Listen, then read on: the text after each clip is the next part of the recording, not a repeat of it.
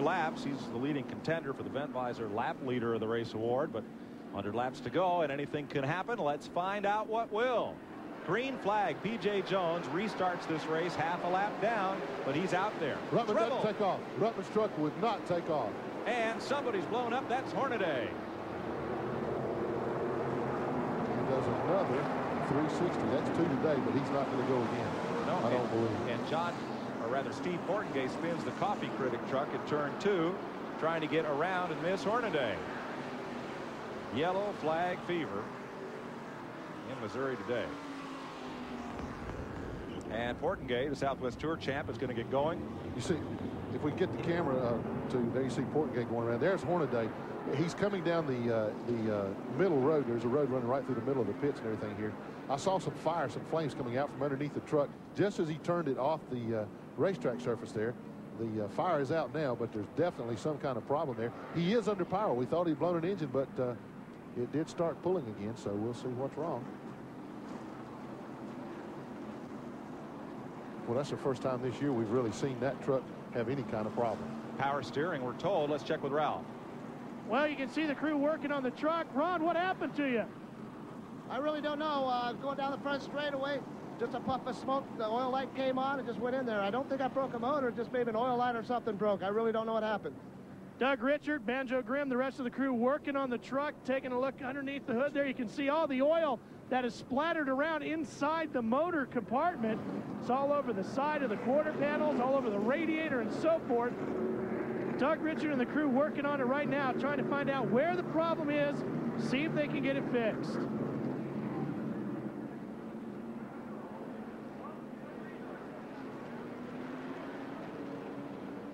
And there's Hornaday. Something let go there, and around it went.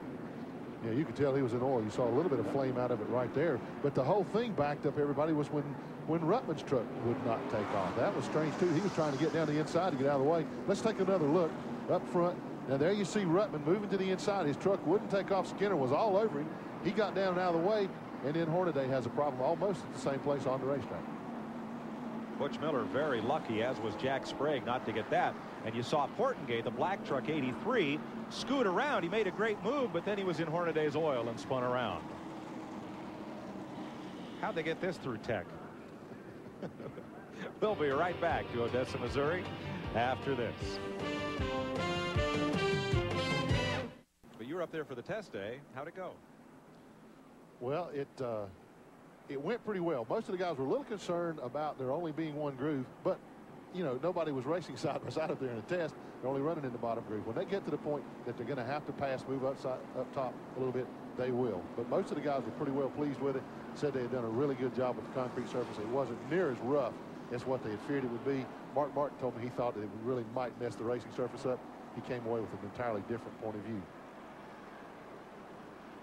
Here they clean up the oil from Ron Hornaday's truck, and it's confirmed that an oil line either disconnected or broke. And they're trying to repair that now and get Hornaday back in the race. Remember, he came in here as the point leader with 37 points on Butch Miller. And uh, Ron now, as he sits in the pits, is, has fallen five laps behind. So uh, this is going to really wreak havoc on his point. And uh, there is the oil tank. Going to refill. Double check everything here. And P.J. Jones. Ooh, he's got a problem. That thing's running hot. And we're trying to pour some cooling into it right now, but uh, not a good sign. It's not fog, folks. Yesterday, it might have been just uh, trying to get that oil dry to pick up what came out of Ron Hornaday's truck. When you're in one of those trucks running about 130 miles an hour down in that corner, it looks like fog because I mean, you can't see anything.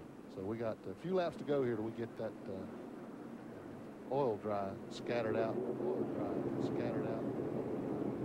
See, he's running slow right there, and you can't hardly see the. You can see right in front of him. Look, as Skinner pulls away, you lose vision on him.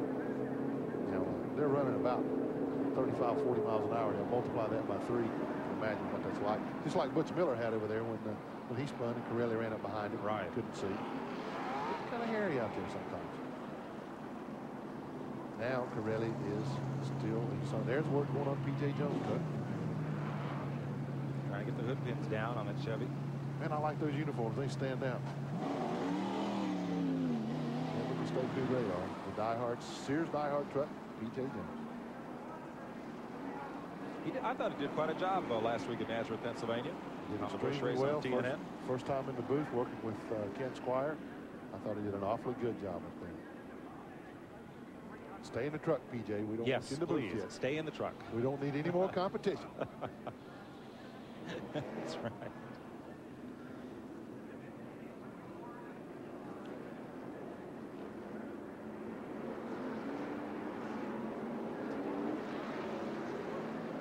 Joe Ruttman out in front of this at 107 laps. Here's Mike Skinner. And Skinner comes in here third in the point standings. 66 wins and three track championships. The California native then came east to try to go Winston Cup racing. Had a couple of starts in the Busch in the Winston Cup Series. Then went to work for Richard Petty. And bounced around with a couple of teams. Unable to find a ride that he thought would propel him to major things.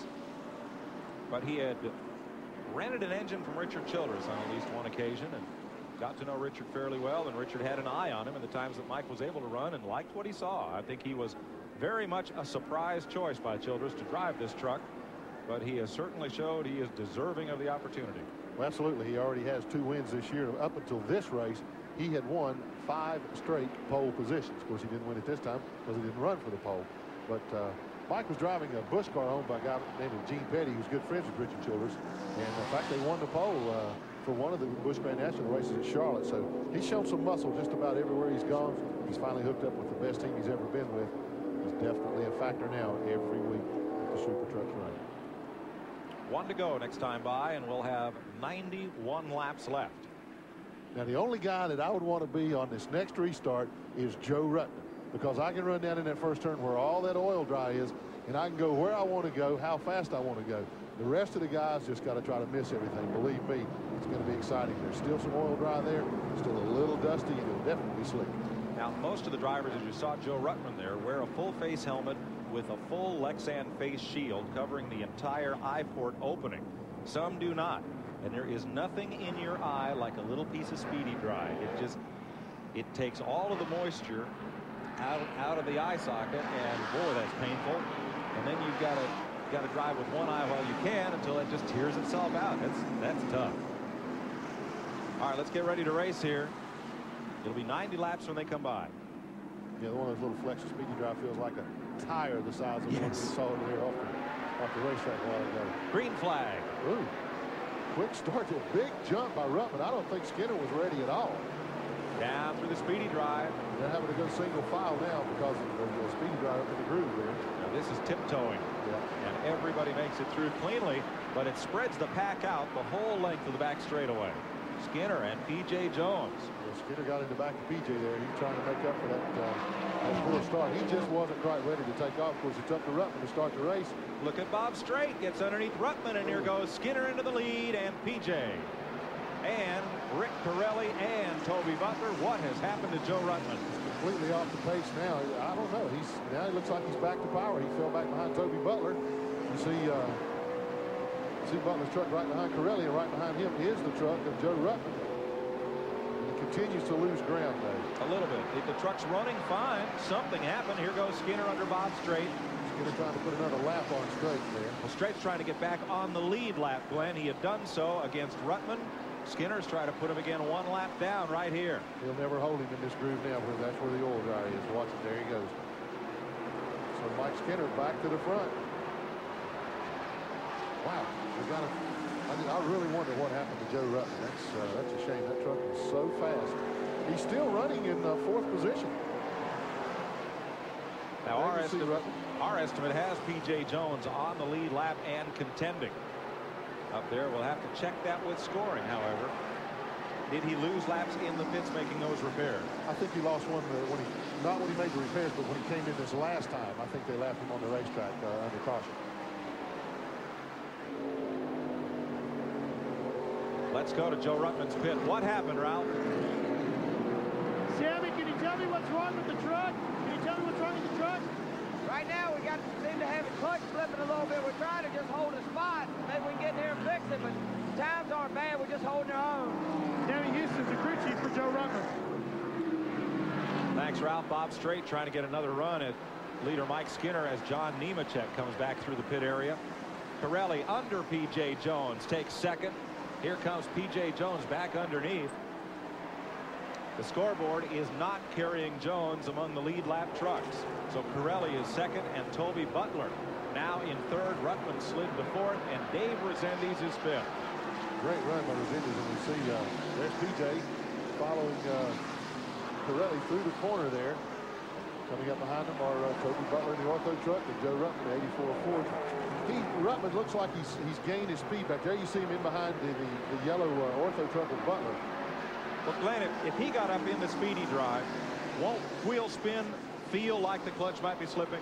Yeah, He's but it, would, it wouldn't do it all the way around the racetrack, Mike. That's the Yeah. That's what he was feeling was all the way around the track. Now it's possible that he could have got some of that dust, you know, some of that speedy dry, some of that grit up in the clutch plate stuff. You, you just don't know.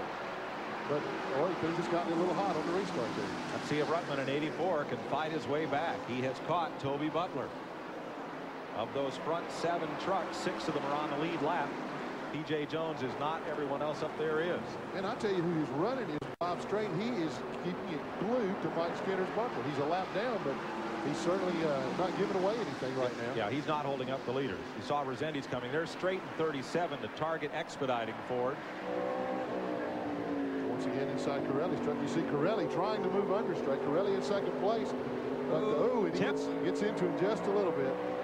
Uh-oh, Steve McEachern on the bottom. Squeeze play, and Carelli drives right through there. Well, Carelli made it. P.J. Jones just about did it right behind him. Looked like Michael Andretti with that move. Yeah, great move by Carelli there. Because he couldn't afford to back off. Right. Skinner's getting away from him. And now Strait has glued it to the back bumper. Carelli, you see Strait stuck there right behind Rick. He's fast in this second half. He sure is. I like look, this. Look at him running Wow. up in the corner there. He is really quick starting off the corner. And Glenn, this is what I like about this halftime break in the truck series. Somebody who's a little off has a chance to make some changes, take your time, make the changes, make the truck better, and it's a whole new race. You can learn something that way, whereas if you just got to slug it out for another 100 laps, you can't. Well, and Strait has run in, on this racetrack many times. The ARCA division runs here a lot. He's an old ARCA competitor. Bob Strait's got a lot of experience here. 124 laps complete, 76 to go. Mike Skinner leading the number six of Rick Carelli, Toby Butler, Dave Rezendes, and Butch Miller. Not believe it. They came off turn four. Skinner on the bottom, Walker Evans in the middle, Rick Carelli going high. Skinner jumped to the bottom of the racetrack under Evans, who was moving down out of the leader's way. Skinner went through the water, went into turn one, slid up the racetrack, and used Carelli to straighten himself out, and everybody's okay. You won't believe this. Take a look at this, folks. Great piece of driving. Now, look, here he comes off of four. There he goes underneath Walker Evans. The truck gets a little squirrely there. In the water. Yeah, correct. Now, look at this. He's got the back end against Carelli. What a great save. Absolutely a great piece of driving. I saw it, I still don't believe it. Rick Carelli finally, finally gets to the front in a super truck race. Well, there's going to be a new player in this one. Now, Bob Strait is still right there. He now separates the two leaders. And Skinner is doing a little bit of tailgate tattoo on Bob Strait because he wants to get back at Carelli. But Dave Rezendes is going to be there in the Geoff Bodine Exide Batteries Ford number seven. Now, here's Skinner underneath Bob Strait. I think he may get the pass this time. Yeah, uh, Strait's getting a pretty, uh, pretty severe passing flag there from the flagman, so he's going to have to let him go. Now let's see if Skinner can run Carelli down. Carelli, in the meantime, has bolted out to about a 15 truck length lead. The man on the move, though, is that number seven truck on the right side of your screen, Dave Rezendes. The modified driver from Masonic, Mass. Got together with Geoff Bodine when Bodine bought the late Alan Kulwicki's team. It was housed right next door to Rezendes Busch Grand National Shop. They got to talking. Of course, they're both from the Northeast. And eventually worked out a deal where Rezendes would serve as crew chief and team manager on Bodine's truck. When Geoff was available, he would drive it. When he wasn't, Dave would drive it. That's why Rezendes had to start back in 22nd. He's only run half the races. He only has half of that truck's driver points, so he started in the back. But he's been flying. He said he told me this morning, or rather late this afternoon, that the truck really was running pretty well, and it was up until right now when Ron Hornaday just went flying past him. Well, that shows you how strong Hornaday is. Yes. He would be a contender.